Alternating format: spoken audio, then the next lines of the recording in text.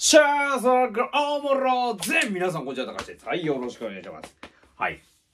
皆さんに本日はですねやってはいけない姿勢というテーマでお話をしたいと思います。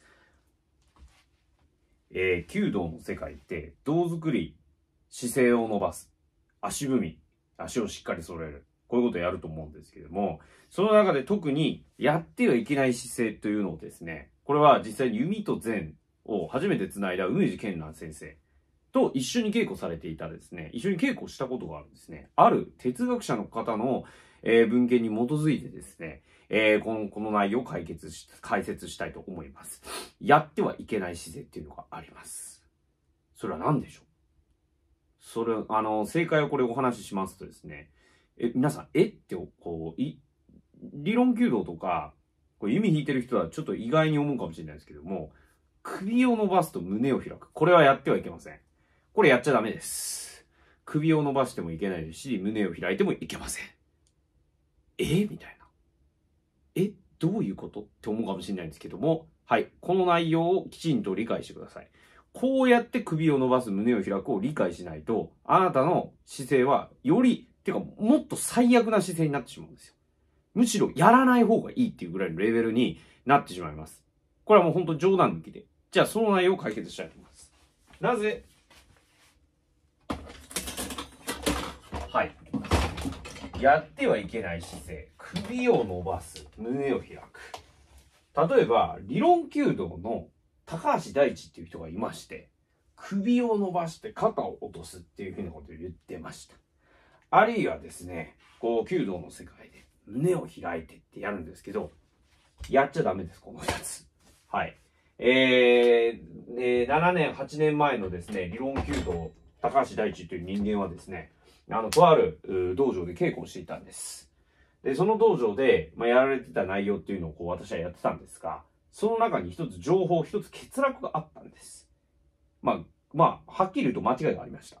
ということで、8年越しに訂正をさせてください。今のこの姿勢の作り方が最も解剖学的に合理的で、部分的に見ても全体から見ても矛盾がなくて、かつ弓が引きやすくて強い弓を開けるようになる姿勢です。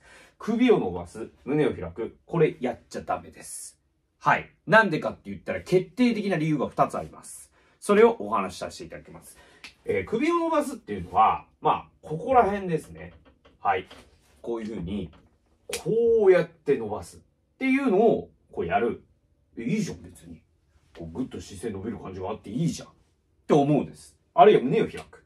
ね、胸をこうやって開くってわけなんですけど、え胸開くって、まあなんかこう、こういう風に貼ったらなんか、こう背筋がピンって伸びていいじゃんって思うんですけど、この二つが最もダメです。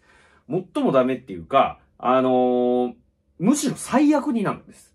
なぜかというと、重心が上がるからです。まず一つ目。この重心が上がるから、まず良くないです。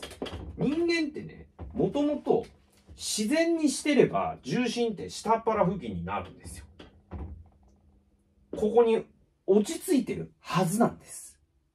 で、ここに落ち着いてると首の筋肉の力みが抜けて、結果的に首のが伸びる感覚が得られるという意味です。伸ばしちゃダメです、こうやって。で、これ、伸ばしちゃダメなんです。まあ、当時私が一緒に弓引いていた人が言ってて、まあ私もそれをやってて、肩の力が抜けていい感じだったんですが、一つこれ欠陥があるんです。それが、重心が上がるからこれダメなんです。まあ、上がらなかったらいいんですよ。ただ問題は上がってしまいます。どうやったって。何回か繰り返したら、これ上がってきちゃうんです。私も首を伸ばしたって、こう何にも意識しないときに、首を伸ばせっていうふうに言われたんですね。おい、ええやん。ええやん。ええ感じになんかこう、胸張ってええ感じになるやん。こう、やん長さいっぱい引くって、ええ感じやんって思ってました。重心が上に上がるから、腕も上がりやすいし、大きく引くぜってなるし、気持ちもやるぜってなるから、いいと思ってます。それが完全なる間違いです。重心を上げて、こう胸を引き上げたらね、こういう風にやるぜって感じになるんですけど、気持ちが落ち着かないです。良くない引き方になるんです、それは。弓と全的には。それはなんかただいっぱい引いて放っちゃう、それが弓道だって思って弓道をやって、それがいいと思い込んでいいと思い込んだんだら、それもいいかもしれないですけども、残念ながら、夢二健蘭先生や、えー、阿波健三先生が解説される弓と禅の落ち着いた姿勢っていうのはどういうことかっていうと、あ、ごめんなさい。その姿勢とか弓と禅ってどういう内容かっていうと、より深みに深みに静かに静かに、それでも大きく開いていく。すごく筋肉は使ってんだけど頭が休まってる状態っていうのを作んなきゃいけないんですね。そういう意味では、この首を伸ばすとか、胸を開くとかっていうのは、実はあんまりやってはいけないんです。何回も何回も繰り返しても重心が上がってくるんです。で、さらにですね、もっと大きな決定的な要因があります。それは、二つ目。上上げるでしょぐーっと伸ばすでしょこの姿勢がいいと思い込んじゃうんですよ。この姿勢が良いと思い込んじゃうんです。で、極めつけはもうこれがいいということで、重心が上がった状態がもう脳内にインプットされて癖づけされちゃうんです。そうすると、一度、これがぐーっと伸びた状態を作って、ぐーっと伸びた状態でもうこれがもう一回インプットされてしまうと、もう残念ながらそこから戻ることできないんです。そうすると、この姿勢で何回も何回も繰り返していけば、どこかで何かしらの癖がついてしまったり、貝が微妙に長く持てなくなってしまったりとか、矢を放って、なんか強い弓は気合で開けるんだけども、まあせいぜい20キロぐらい。中途半端。まあ弓道連盟の人たちがね、強い弓を引いてる人たちって、射形が崩れたり、力任せに引いてるからダメだよっていうふうに、まあ、言うんですけども、それは重心が上がってるからなんですよね。こういう問題があるから胸を開いたり首を伸ばすっていうのはあまり良くないんです。で、60歳とか70歳ぐらいの人がですね、もう縮んじゃってる状態でこんなんなってるから、ぐーっと伸ばすんだっていうのはまだいいんです。まあそれも実は良くないんですよ。こうやって曲がってる状態から首をグッて伸ばすってことは重心上がってるんで、良くないです。大事なのは下げることなんです。で、この首を伸ばすとか胸を開くの本質って何になるのかっていうと、あなたの体の重心が下にズーンと降りていけば伸びたことになりませんか？だから首を伸ばすじゃないんです。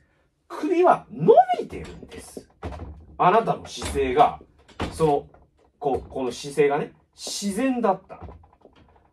だけどあなたはこの自然な姿勢を知らないわけでしょ知らないから姿勢っていうのは伸ばすものだっていう風に解釈しちゃう。そうすると結果的に頭の中では首を伸びてね、こう、ロールフィングの世界ではスカイフックだとかって言われるわけですよ。バレエの線でも、こう頭が吊り上げられるようにしましょうって言って、いや、頭吊り上げたらね、こう、くるくる回転しやすいからバレエはいいですよ。でも、弓道は逆ですから。地面に根を張るようにして、しっかり下ろすんや、っていうふうに言うわけですよ。それだったら、首伸ばしたらダメじゃないですか。だから、そういう意味で首を伸ばすって思ってる時点で、もうあなたの姿勢は実はそのことにできてないんですよ。胸開くぜって開くってダメですよ。胸開くっていうのもさ、例えば、こういう風に、お腹の筋肉を今からちょっと簡単な方法で緩めます。ふくらはぎの筋肉をこういう風に伸ばしてください。えー、ふくらはぎの筋肉って、まあこう、こういう風にこう柔軟体操するじゃないですか。で、こう柔軟体操ぐーってこう伸ばしてもらって、こうやってね、ちょっと待ってね。こっからね。ふくらはぎのこう、やつをね、こうやってこう伸ばすじゃないですか。こうやって。ぐーんと、うーんと、うーんと、うーんと、うーんって伸ばしたら、ふくらはぎの筋肉を伸ばす人間のお腹って自然と開くようになるんですよ。お腹開いたら胸開いた感じになりません？はい。これが本質です。この首を伸ばす、胸を開く前にやることがありませんか？それが自然な姿勢です。梅地健蘭先生の自然合理な写写法にはですね、えー、武前っていう雑誌にはこう書かれてあります。伸びようと思わなくても伸びる姿勢が正しい姿勢だっていうふうに言ってます。阿波健三先生は弓を引くことよりも右手を使うことよりも、まず最初に深呼吸をしなさいっていうふうに書いてあります。大井源ヘーゲルには離れに困ってしまった時、貝でどうしても右手がピクピクしてしまう時、力が入ってしまう時、ああ健三さん、何をやればいいですか？深呼吸しなさいって言うんですよ、ああケンゾは。オイゲンヘルゲン意味わかんないですよ。右手がピクピク動いてるのに、なんでここを動かして、ここを動かしたらなんか良くなるの？なるんだよ。だって自然な姿勢が作るから。ここを作ることが禅でしょ？てか、禅って言葉っていうのが自然から来てるので、それが弓と禅で、弓を使って禅と繋がってるってことを証明してるのが弓と禅なんですよ。それを、ここを知らないから首が伸びないわけでしょ？伸びないから首を伸ばした時に体が楽に感じるわけでしょ？いいことをやって、体が楽に感じになって、この姿勢はいいと思った瞬間に、あなたはその姿勢は自然から遠ざかってます。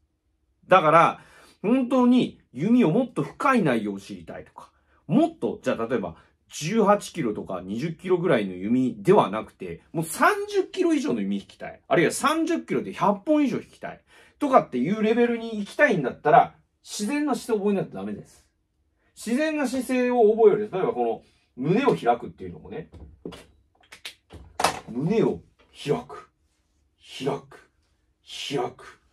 開く。胸開いたら肩甲骨縮んじゃうでしょ肩甲骨縮んじゃったら腕の動きちっちゃくなんないえっと、なんで胸を開くかって言ったら、胸を開くことで、腕ではなくて、手先ではなくて、体の肩甲骨とか肩を使いたいから胸を開くわけじゃん。でも胸開こうという動作で肩甲骨縮んじゃったら、結局肩甲骨の動きが悪くなってるから、腕大きく動いてないですよ。それを大きく動かしてるように思わせてるのはあなた自身だって、あなたがあなたの脳みそを騙してるわけでしょ。でもあなたの体は何も動いてないですよ。これが正しい姿勢をやってはいけない理由です。正しい姿勢をやるとダメになります。しかも正しい姿勢って頭で正しいと思い込んじゃうと、頭が正しいと思うから体はそっちに持ってかれちゃうわけ。これがやってはいけないことです。やってはいけない姿勢です。でもだからといって、じゃあ弓道連盟みたいにね、あのこういうふうに前かがみの状態で、ここの力をこうやって抜くとか、胸の筋肉ここを開かないでこうするっていうのも、実はダメなんです。だから首を伸ばしてもダメだし、胸を開いてもダメなんだけど、連盟みたいにやってもダメなんです。その理由はですね、次の動画でご紹介したいと思います。以上で、いい姿勢をやってもダメだし、悪い、あの、その逆の姿勢もやってもダメです。何やってもダメです。あなたが先に覚えなきゃいけないことは、意識をして良くしようではなくて、自然な視線に立ち返ることです。この内容を理解してですね、いろんな弓の引き方を対応したり、初心者で実力を伸ばしたり、強い弓を引くようにしてみましょう。ありがとうございました。